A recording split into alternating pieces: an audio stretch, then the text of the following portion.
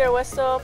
Yeah, the Hypernuts, uh, they're just such fun boards. Uh, I ride one at home all the time and they're just great for uh, small, fun waves, a little bit fat. You can actually have a really fun session on them. The ranges go from 6.9 up to 9.6. A new model this year is a 9.6. The Hypernut provides a little bit more forgiveness. It actually generates quite a lot of speed through the turns. So when the wave isn't providing you with that speed, you can jump on the Hypernut and still have a really fun surf. Yeah, that gives you a little bit more of a skateboard type of feel.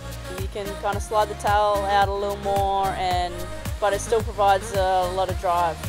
Yeah, the Hypernut comes with a quad setup. This has been proven to be the best setup for this type of board because of the wide tail. Also helps with a lot of drive in the board, but you can release the tail if you want as well. The Hypernut has a more of a flatter rocker throughout, which allows you to paddle onto waves quite easily, but it has a channel down the middle of the board which provides tight turning into the pocket.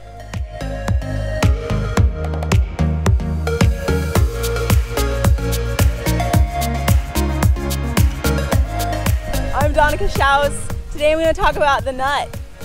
So the Nut range offers the best of both worlds. You've got two boards in one. Glide in like a longboard, you can ride the nose, or take it all the way back and ride it like a shortboard. The Nut range comes in four sizes. It starts at 8.5 and uh, ranges all the way up to 10 foot. So on the Nut range with more tail kick, you've got increased control and maneuverability. So the nose of the board's got a nice concave, which gives you a lot of control and stability on the front.